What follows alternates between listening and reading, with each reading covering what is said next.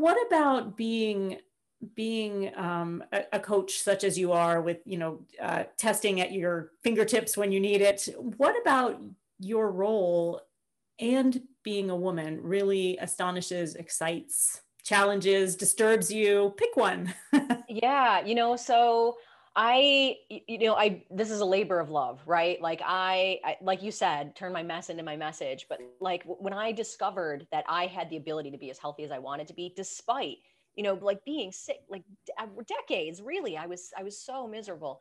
Um, and now I'm, I, I tell people I'm the youngest I've ever been. And it's because that's how I feel, right? I absolutely have more vitality than I've ever had in my whole, in, in my whole memory anyway.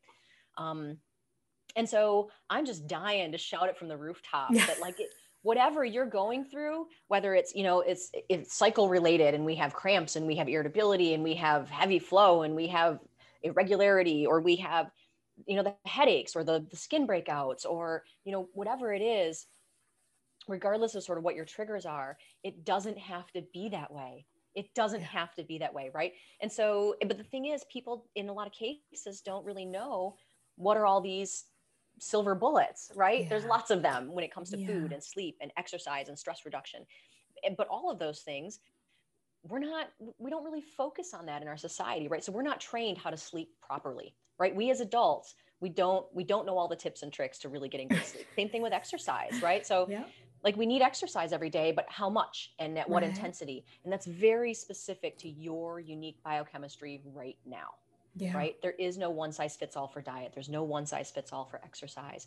And so just sort of knowing you know having a guide to be able to to to lead the way and to be able to help you identify and make the observations of the clues that your body's giving you the feedback your body's giving you as to which you know how we get the best the best sleep and how we get the exact right exercise for you and um, and what's the best way to go about detoxing depending on your specific situation if you if we think that there's a toxic buildup. Right. Um, you know and so really that's that's my mission is like i just want people to know it doesn't have to be that way.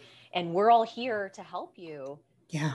Yeah and i love what what really resonates with me in this is that you know you were saying that you had just sort of given up like uh, by 40 i'm going to be in a wheelchair you know? Yeah. and i think there that's a really important point to bring forward because a lot of us really feel like we don't have any agency over our health and or our health care and i think that's that's where a huge huge problem crops up where we're just like i feel terrible. I'm going to go to the doctor. They're going to give me a pill. Like it's going to make it better right?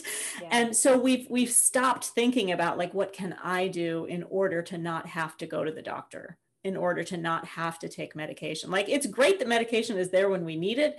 And is there a way to be healthy without it? Absolutely. And that really has to do with reclaiming that agency over our own health which we've been we've been convinced that we don't know what we need. And the fact of the matter is because we're all different every one of us deep down knows what we need. We just need someone like you to come along and say let's figure out what it is you need and then do it